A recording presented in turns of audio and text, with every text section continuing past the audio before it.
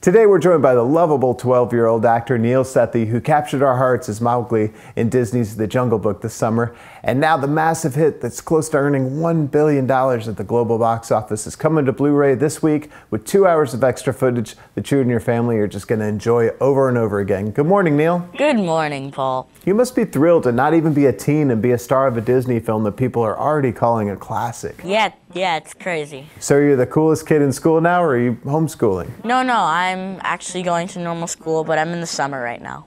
You were chosen from thousands of kids for this role. What was the reason they told you that you got the role? I think it's because I was myself, and that's what they liked about it. That I wasn't like trying to like get the role. Like I didn't really like try, try, try. I was just chill and myself. Your co-stars are legends like Bill Murray, Christopher Walken, and Sir Ben Kingsley. Were you familiar with them before you got the movie? Yeah, I've I've seen some of their movies. I was like, oh my god, that's crazy. I'm going to be working with them.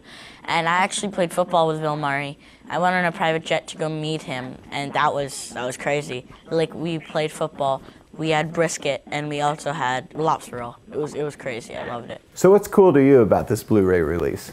Yeah, um, I think it's really cool. I think that there's um, like there's audition footage, and I think that's going to be amazing if people watch it.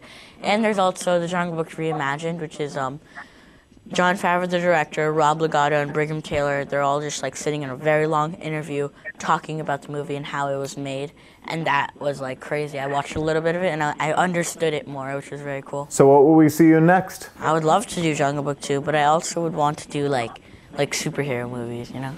Well, thanks so much for being with us, Neel. We'll look forward to seeing much more of you soon. The Jungle Book is on Blu ray and DVD right now.